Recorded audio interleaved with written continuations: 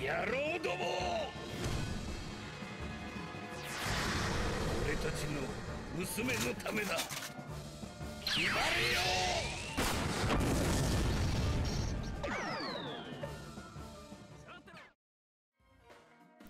What's going on my broskies? My name is Toadskii, back again, here to bring you guys yet another One Piece Treasure Cruise video.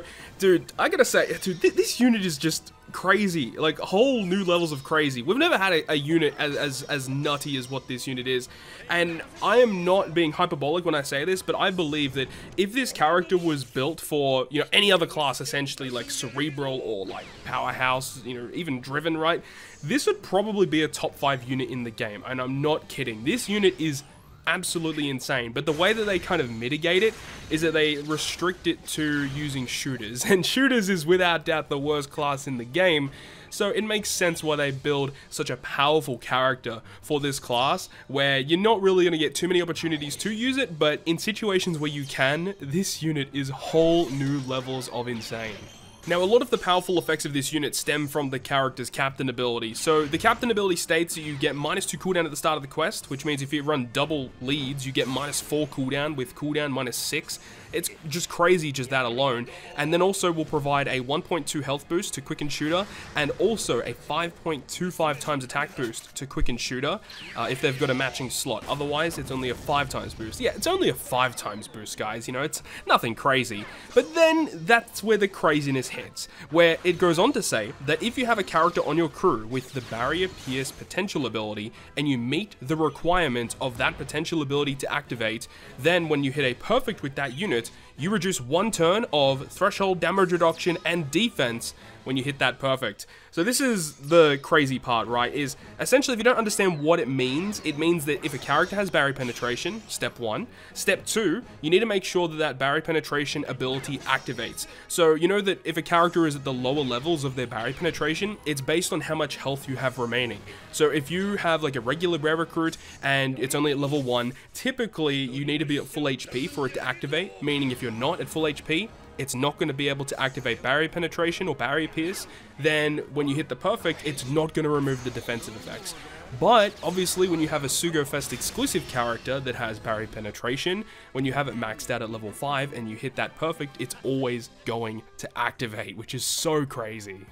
And for those who don't know, characters that are shooters, that are Sugofest exclusives, a lot of the time they're going to have barrier penetration, which is a huge benefit here, meaning that you just really, in a lot of cases, you don't need to worry about enemy defensive effects. If you guys would have seen the previous clip against Queen, we, we were able to get through that pretty comfortably. And once again, you'll see here in this clip versus Mihawk, you know, defensive effects mean nothing because not only do you go through those defensive effects with hitting perfects when you have the barrier penetration active, it's the fact that they have barrier pierce in the first place. So when you're up against a character that does have a barrier, you can just go ahead and do your normal attacks, get through it just like this Doflamingo fight, absolutely no problems.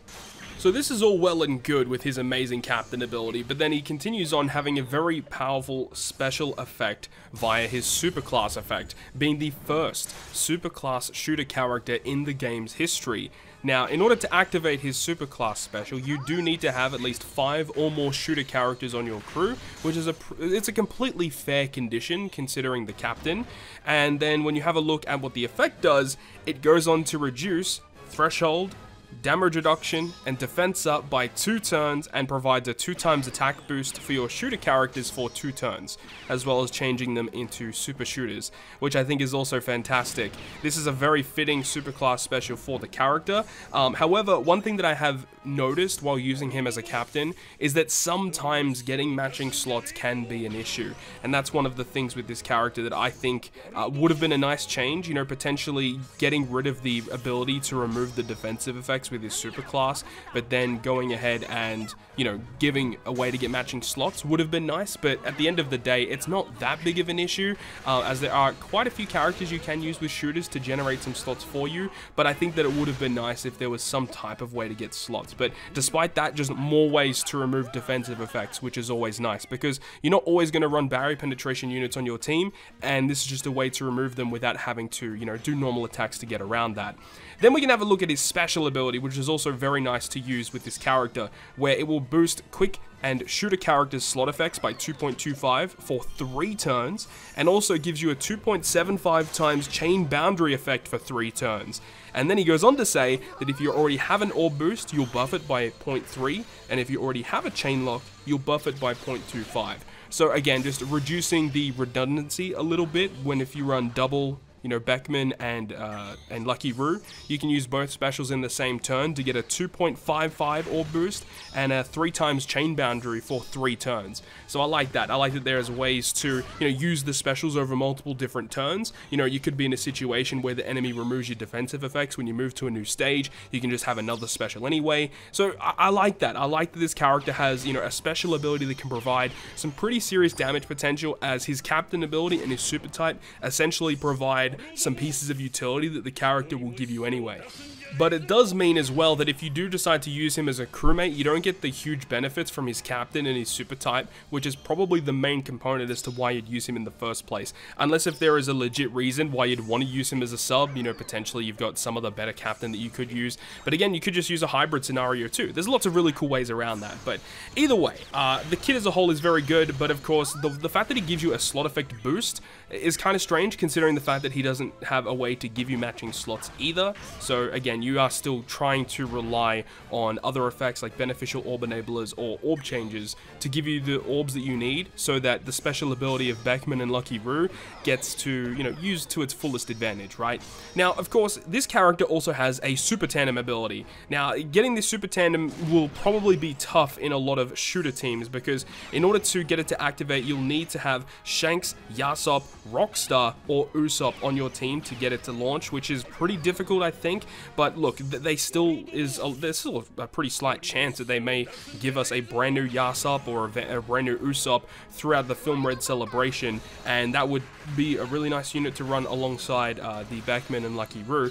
But the effect itself, when you launch it, will remove one turn of Threshold, damage reduction, and defense up once again, and also will provide a tandem attack boost, two times boost to quick and shooter characters. So again, if you're running mono shooters, being able to launch that super tandem is going to be kind of nuts. So hopefully that is the case and will be kind of easier to activate with better characters that get released later on down the line. This character could also see a little bit of play as a support character too. Now, he only attaches to Rockstar, Yasopp, and Shanks, so very restricted pool of characters.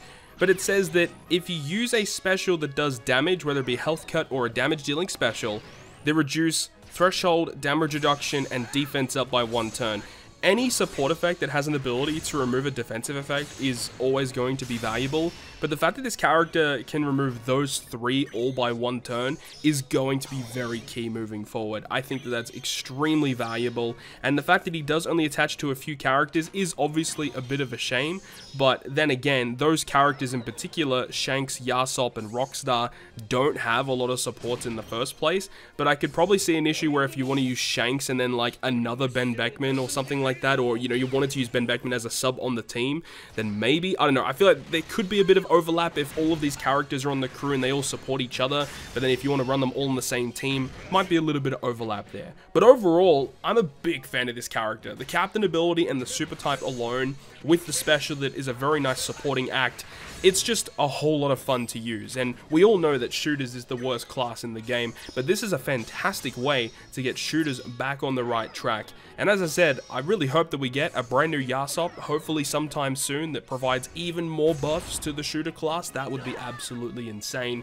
But this is, you know, it's a long way back for shooters. They need a lot of support for them to be in contention to be one of the best classes, but with a captain ability such as this, it really holds them in good stead. But with all of that being said, that is going to wrap it up from me. I'll leave you guys with the rest of this clip versus the uh, Garp Challenge Navy. But I hope that you guys enjoyed this video today. And if you guys did enjoy the video, make sure to go ahead and leave a like. And if you want to stay up to date with all of the content that I post, including more One Piece Treasure Cruise content, make sure to hit the subscribe button down below.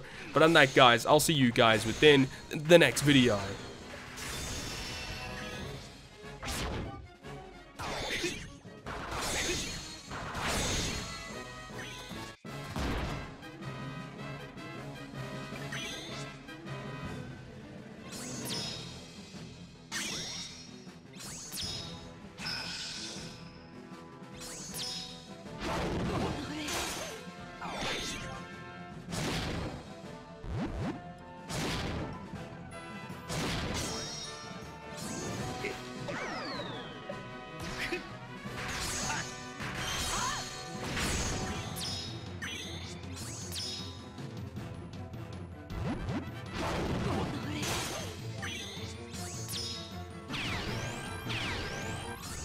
Рудому...